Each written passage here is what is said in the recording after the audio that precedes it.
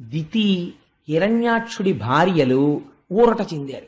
నిజమే వెళ్ళిపోతారు జీవులు ఎందుకు ఎడవడం అని వాళ్ళు ఇంట్లోకి వెళ్ళిపోయారు అంతఃపురంలోకి. ఈయన మాత్రం తపస్సుకు బయలుదేరాడు బయటికి వచ్చాడు. తన దగ్గరుండేటటువంటి మంత్రి సామంతలు అందరినీ కూడా పిలిచాడు. శ్రీమన్నారాయణుడంతటి దుండగీడు ప్రపంచంలో ఇంకొకడు ఉన్నాడు. ఏం చేశాడో తెలుసా? చేతకానివాడు పిరికివాడు. ఎక్కడో నీటిలోకి దిక్కి ఆ భూమండలాన్ని పైకెత్తుతుంటే నా తమ్ముడైనటువంటి హిరణ్యాక్షుడు కనబడ్డాడు. యుద్ధం చేసి గదతో కొట్టి నా తమ్ముణ్ణి సంహరించాడు. ఆ విష్ణువు మహామాయగాడు ఎక్కడా దొరకడు. అతను ఉండే స్థానాలు కొన్ని ఉన్నాయి. చెట్టుకి మొదలు కాల్చేస్తే పైన ఉన్నటువంటి పల్లవములు శాఖలు తమంత తాము మాడిపోతాయి. విష్ణు ఉండే స్థానాలు కొన్ని ఉన్నాయి. అవే బ్రాహ్మణులు యజ్ఞయాగాది క్రతువులు హోమములు వేదము ఆవులు సాధుపురుషులు ధర్మము అగ్నిహోత్రము ఇలాంటివి. ఇవి ఎక్కడ కనపడ్డా ధ్వంసం చేసేయండి. ఎవడైనా తపస్సు చేస్తే నరికవతల పారేయండి. ఎవడైనా వేదం చదువుకుంటూ ఉండే వాడిని చంపేయండి. అనేసరికి ఈయన భటులందరూ వెళ్ళి లోకం మీద పడ్డారు. నేను అపారమైన తపశ్శక్తి సంపన్నుడనై ఈ మూడు లోకములను నేను పరిపాలిస్తాను. విష్ణు అన్నవాడు ఎక్కడ కనపడ్డా సంహరిస్తాను. నా ప్రతిజ్ఞ అని బయలుదేరి మందర పర్వత చర్యలలోకి వెళ్ళి తపస్సు మొదలుపెట్టాడు. ఎంత ఘోరమైన తపస్సు చేశాడంటే ఆయన యొక్క కపాల భాగంలోంచి హో ఆ తపోధూమము బయలుదేరింది.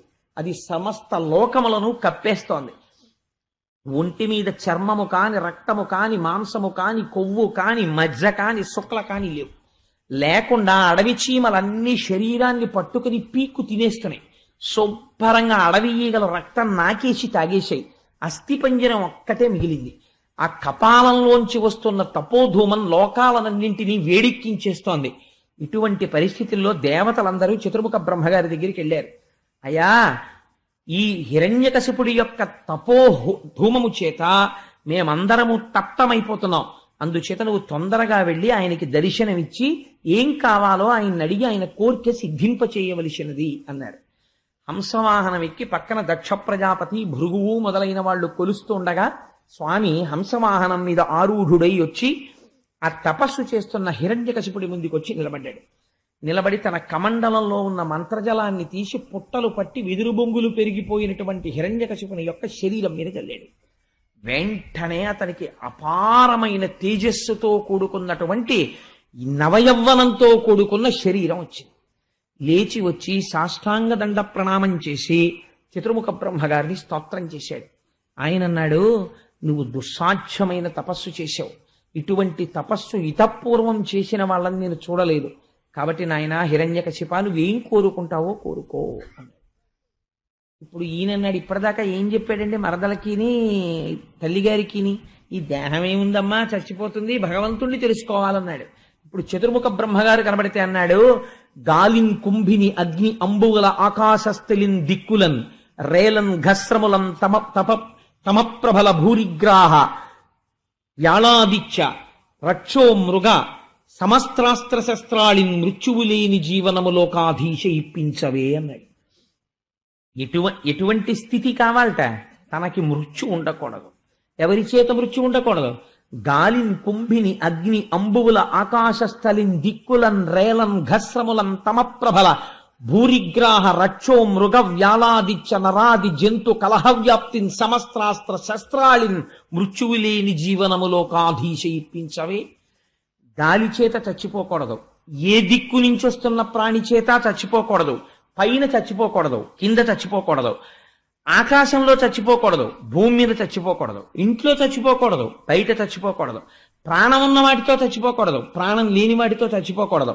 మృగముల చేత పక్షుల చేత యక్షుల చేత గంధర్వుల చేత కిన్నెరుల చేత లేదా దేవతల చేత అస్త్రముల చేత శస్త్రముల చేత మృగముల చేత వీటి వేటి చేత పగలు కాని రాత్రి కాని వీటి వేటి చేత మరణము లేనటువంటి స్థితిని నాకు కటాక్షించు. చతుర్ముఖ బ్రహ్మగారు ఆశ్చర్యపోయారు ఎప్పుడు రాసేవరా ఈ పద్యం నువ్వు అని అడగాలి. ఎలా రాశావు అసలు అంటే ఇలా కాకుండా మృత్యు ఎలా వస్తుంది అసలు మరి? ఎట్నుంచి రాకూడదు. అందుకని గాలిని కుంభిని అగ్ని అంబువుల ఆకాశస్థలిన్ దిక్కులం రేలం ఘస్రములన్ తమ ప్రబల భూరిగ్రాహ రక్షో మృగ వ్యాళాదిచ్చ నరాది జంతు కలహవ్యాప్తిని సమస్త్రాస్త్ర శస్త్రాలి మృత్యువు లేని జీవనమానికు అని నువ్వు చేసిన తపస్సు అటువంటిది నేను ఇస్తానన్న వరం అటువంటిది తథాస్తు. ఇచ్చేశాను. కానీ ఒక్క మాట చెప్పాలనిపిస్తోందిరే నువ్వు ఇంత వరం ఇంత తపస్సు చేసి ఈ వరం పొందావు. కొంచెం క్షేమంగా ఉండడం నేర్చుకుని లోకం గురించి ఆనుకూల్యతతో మంచి నడువడితో ప్రవర్తించు సుమా అని చెప్పాడు. ఆయనకు అర్థమైపోయింది వీడి వరం పుచ్చుకోగానే తను వెళ్ళిపోగానే ఏం చేస్తాడో ఆయనకి తెలిసి? ఆయనకి తెలియదేమిటండి అని హంసవాహనం ఎక్కి ఆయన వెళ్ళిపోయారు వెళ్ళిపోగానే వీడు రాజధానికి వెళ్ళాడు. వెళ్ళి అందరినీ పిలిచాడు. ఒరే వరాలు పుచ్చుకుని వచ్చేసాను ఇప్పుడు మనం ఏం చేయాలో తెలుసా? విష్ణు అన్నవాడు ఎక్కడున్నా పట్టుకోవాలి. పట్టుకుని సంహారం చెయ్యాలి. పైగా ఇంద్రుణ్ణి రాజ్యభ్రష్టుణ్ణి చెయ్యాలి. మనం రాజ్యాల్ని పొందాలి. త్రైలోక్యాధిపత్యాన్ని పొందాలి. అందుకని మనం బయలుదేరదామని చెప్పి పెద్ద అసుర సైన్యాన్ని తీసుకుని ఇంద్రలోకం మీదకి యుద్ధానికి వెళ్ళాడు. అక్కడ ఇంద్రుడికి వార్త అందిపోయింది. ఈయనకి ఇన్ని వరాలు ఇచ్చేశారు చతుర్ముఖ బ్రహ్మగారు ఎప్పుడైతే ఇన్ని వరాలు హిరణ్యకశిపుడు పొందాడని తెలిసిందో ఇంకా యుద్ధం ఎందుకు? అనవసరం కదా. అందుకని ఆయన ముందే ఏం చేశాడంటే ఆయనకి ఎప్పుడు ఎమర్జెన్సీ కిట్ ఒకటి ఉంటుంది. ఎప్పుడు ఏమో ఎవడొచ్చేస్తాడో ఎవడికి వరం వచ్చినా ముందు ఇంద్రపదవ మీదే ఉంటుంది దృష్టి. అందుకని గబగబా అస్తమానం క్యాంపులు వెళ్ళేటటువంటి ఉద్యోగం ఉన్న వాళ్ళ ఇంట్లో ఒక చిత్రమైన బ్రీఫ్ కేసు ఉంటుంది. మీరు చూశారో లేదో? ఒక పేస్టు ఒక దువ్వెన్న ఒక టంగ్ క్లీనరు ఒక స్పేర్ బ్రష్ ఒక రెండు జతల బట్టలు ఒక టవలు ఒక నాప్కిన్ తోటి ఒక బ్రీఫ్ కేస్ అట్టి పెట్టుకుంటారు వాళ్ళు. ఏమో ఎప్పుడైనా వెళ్ళిపోవలసి రావచ్చు. గబాలను బ్రీఫ్ కేసులో పడేసుకుని టక్కన మూతేసేసుకుని వెళ్ళిపోతారు. ఒక ఏటీఎం కార్డు ఇలాంటివన్నీ ఉంటాయి. మనం వెళ్ళాలంటే మూడు రోజులు ముందు కూర్చుని మానసికంగా ఏమేం కావాలో ఆలోచించుకుంటూ అన్నీ రాసుకుని అసలైంది రైలు టికెట్లు మర్చిపోయి వెళ్ళిపోతాం మనం. అందుకని ఎందుకనంటే అలవాటు లేని పని. కానీ అస్తమానం క్యాంప్ వెళ్ళేటటువంటి అవసరం ఉన్న వాళ్ళు చాలా జాగ్రత్తగా పెట్టుకుంటారు. అలా ఇంద్రుడు కూడా బహుశా అలా అలవాటు పడి ఉంటాడేమో. అందుకని ఏమో వచ్చేస్తున్నాడు హిరణ్యకశిపుడు. ఏమిటి వాడి మర్యాద? అని అడిగాడు. వరాలు చాలా ఉన్నాయన్నారు. అయితే పదండి ఇంకెందుకు యుద్ధం? పోదాం పదండి అన్నాడు. మూటా ముల్లే సర్దేసుకున్నారు ఖాళీ చేసేశారు. వీడు వచ్చాడు. వీడికి కండ కావరం ఎవరిని కొడదామని చూస్తాడు వీడు? వీడికి యుద్ధం లేదు. తిన్నగా అంతఃపురంలో ప్రవేశించాడు. కానీ ఒక మాట మాత్రం అన్నారు భాగవతంలో.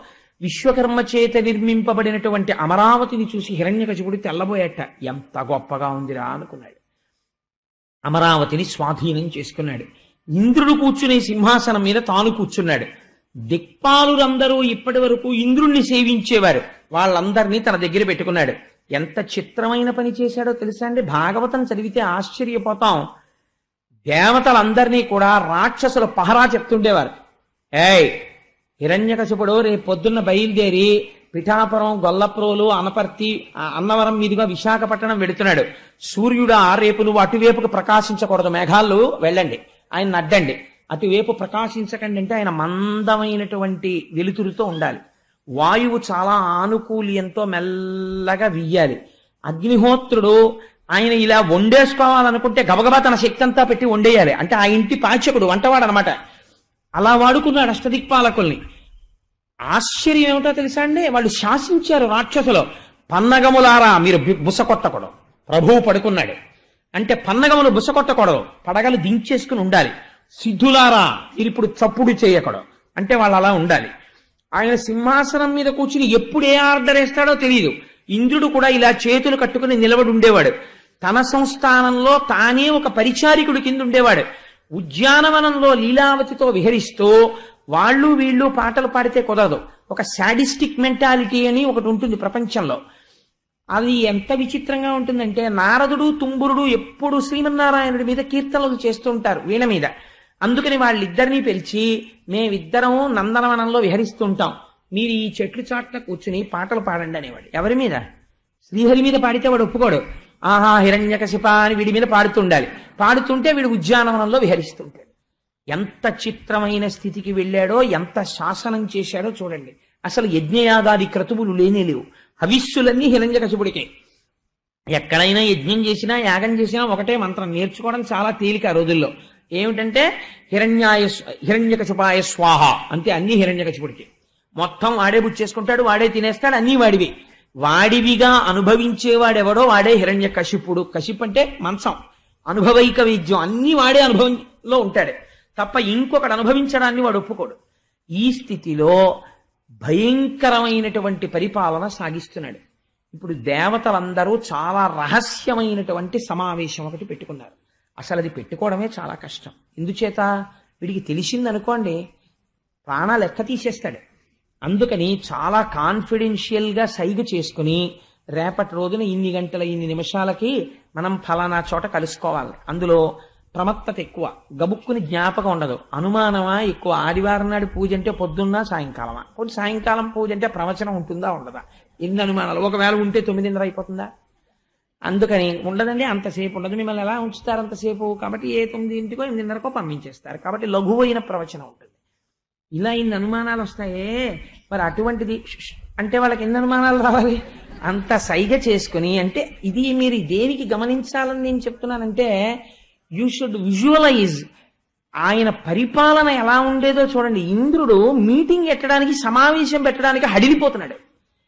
ఒరే ఎవరిని పడితే వాళ్ళని పిలవకండి కాస్త కడుపులో రహస్యం దాచుకోగలిగిన వాడినే పిలవండి అన్నారు. అందరూ కలిసి సమావేశం పెట్టారు. సమావేశం పెట్టి ఈ కష్టాలు ఎలా తీరుతాయిరా అంటే ఎవడి కష్టం వాడు చెప్పుకున్నాడు. ఏం చెప్పమంటారండి? అగ్నిహోత్రుండని యజ్ఞయాగాది క్రతువుల్లో ఎంతో గౌరవించేవారు. ఋగ్వేదంలోనేమో నా గురించి మంత్రాలు చెప్పేవారు. ఇప్పుడేమో వాడు నన్ను పాచకుడు కింద వాడుకుంటున్నాడు. వాడికి ఎప్పుడన్నా చలేస్తే ఓ అగ్ని! అంటే నేను ప్రజ్వరిల్లి వాడికి చక్కగా గోరువెచ్చగా ఉండేటట్టే నేను వెలగాలి. ఏడు నా కర్మ అని ఆయన వీళ్ళందరూ ఇలా మాట్లాడుకుంటుంటే మన కష్టాలు తీరే మార్గం ఏమిటి అన్నారు. ఒక్కడే. మనకి ఎప్పుడూ కష్టాలు తీర్చేవాడు ఎవడు ఒక్కడే ఉన్నాడు. అందుకని ఎవరికి డబ్బు లోటు వచ్చినా ఆఫీసులో వెంకటరత్నం గారే గుర్తొచ్చినట్టు. కాబట్టి ఏం చేయాలి? అందరూ కలిసి శ్రీమన్నారాయణుడినే ప్రార్థన చేయాలి అందరూ కలిసి శ్రీమన్నారాయణుడు ఇప్పుడు వైకుంఠానికి వెడుతుంటే మధ్యలో ఎవరన్నా చూస్తే ప్రమాదం. కాబట్టి ఏం చేయాలి? ఇక్కడే కూర్చొని లోపల ప్రార్థన చెయ్యాలి ఆయన్ని. ఇది శ్రీమన్నారాయణుని యొక్క అనుగ్రహం అంటే. ఇది మీరు గుర్తుపట్టాలి. ఇప్పుడు వాళ్ళు కనీసం వైకుంఠం వేపుకి కూడా అడుగు వెయ్యలేరు ఇటువంటి వాళ్ళు కష్టంతో ఎక్కడున్నారో అక్కడే కూర్చుని ప్రార్థన చేస్తున్నారు. అక్కడికి తానొచ్చి పలకాలి. పలికి వాళ్ళకి ఊరట కల్పించాలి. ఇది స్వామి యొక్క అనుగ్రహం అంటే. వాళ్ళు అంతర్ముఖులై స్వామి మా కష్టాల్ని తీర్చగలిగినటువంటి పరబ్రహ్మము నువ్వే. మమ్మల్ని ఎలా అనుగ్రహిస్తావు? అని ప్రార్థన చేస్తున్నారు.